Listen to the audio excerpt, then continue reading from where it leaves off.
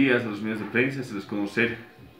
eh, sobre hechos que ya están ocurriendo desde horas de la mañana, como todos los días.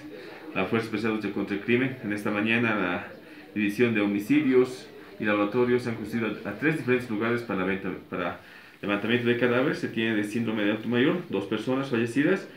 y una persona fallecida por senecto. Así también se ha tenido un reporte sobre un aborto en la cual también personas de homicidios laboratorios se conocieron al hospital Daniel Bracamonte, donde tenemos los antecedentes sobre un aborto, donde manifiestan que la señorita de 31 años de edad, nos vamos a evitar dar el nombre, habría ido al baño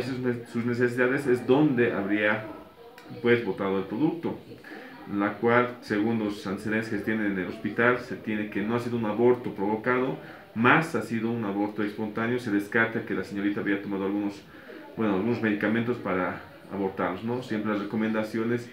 que se queden en casa en este encapsulamiento.